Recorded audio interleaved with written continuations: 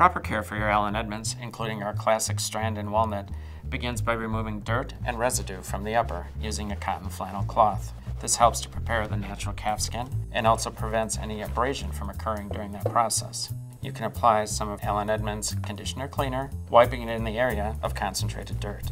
This removes the dirt and this material also dries relatively quickly so that you can move on to the polishing process. Allen Edmonds Premium Shoe Polish is specially formulated to color match each of our different colors of calfskin. In this case, we're going to use our Walnut Premium Polish.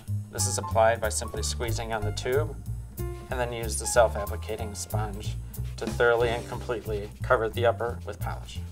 Don't be concerned at this point about excess polish building up in the pinks or perfing detail on the upper, as it will demonstrate later how to remove that. This material dries relatively quickly, so we can begin the buffing process.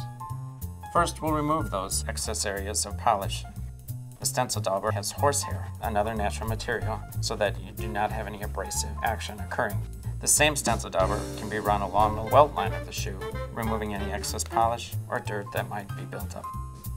Now we're ready to begin the buffing process. Again, using a cotton flannel cloth, wipe the premium polish from the upper. Because the calfskin is a natural material, there is a fiber content that remains present even after the shoes have been handcrafted. To achieve a higher sheen, we're going to use our horsehair brush and actually raise that fiber. This will allow us to make a final pass with our cotton flannel cloth and achieve an even higher shine. Lastly, we'll apply the heel and sole edge dressing to the welt and heel base. This restores color and serves as a protectant this material will dry naturally on its own, or excess can be removed using a cotton flannel cloth. And at this point, your strands are ready for the next board meeting.